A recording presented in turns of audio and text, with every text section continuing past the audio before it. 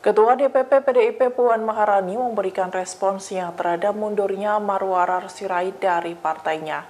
Ia pun memberikan respons singkat sembari tersenyum terkait pengunduran diri Marwarar. Puan memberikan responsnya saat di Kompleks Parlemen Senayan Jakarta pada Selasa 16 Januari 2024. Sembari tersenyum tipis, ia memberikan ucapan terima kasih kepada pria yang akrab disapa Ara tersebut. Puan berterima kasih kepada Ara karena sudah bersama dengan PDIP.